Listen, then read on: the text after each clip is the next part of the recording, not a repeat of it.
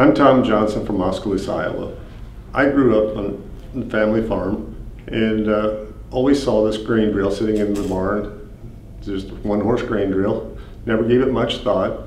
It was at one of our winter conventions when a gentleman by the name of Clyde Berkshire asked me if I knew where I could find a Kentucky grain drill. Well, I'd seen it enough that I knew that that's what was sitting in our barn, and I didn't know enough about it yet at the time. But my father told me that his grandfather and his father had both used that grain drill on the farm in New Boston, Illinois, and that he had brought it with them from New Boston to Oskaloosa. So that farm family brought that from Trap Hill, North Carolina originally. So it's been in our family for generations, and I assume they bought it new. That's the best I know. I know it's somewhere around in 1904, maybe newer, I don't know. But on the side of the grain box, it says it's part of the American Seeding Group, and seven companies were merged together to make up this seeding group.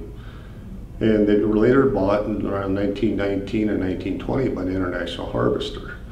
So it's pretty unique to find something of that age sitting for that long. And then by chance I had an auction and found a Hoosier grain drill. The Hoosier grain drill dates back somewhere around 1858 is when the company started. And this one says it was patented in April 25th, 1876. So it has some age to it and it too became part of International Harvester in the 1919, 1920. It's real unclear of which year it was for sure, but I'm still trying to research and it's very hard to find this type of information on this machine because there wasn't good records kept basically back in those days. So, But they're both sitting out here on the grounds and the interesting thing about the Hoosier is that it has, it's a shoe drill instead of a disc opener drill like the Kentucky. And the shoe drill has wooden pegs that are carved to fit into the hole so that it'll shear if it hits a rock or a tree root wouldn't feel.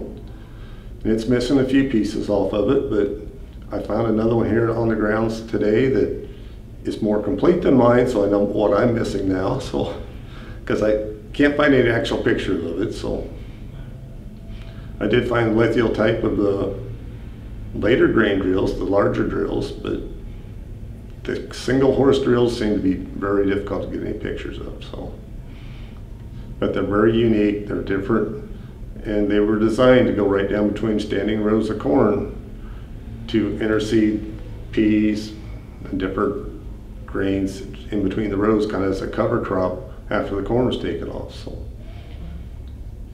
so it's not a new method as far as what we're doing in farming today. We're putting cover crops on that's been done back in the 1800s already. So mm-hmm. it's amazing how technology keeps coming back around, goes away and comes back. Yeah. And there's just these drills are both, I would say, operational if a person puts some parts back on. So it's very unique to find them and they are interesting to look at. So cool. I guess that's all I had to say about it. Thank you very much. Mm -hmm.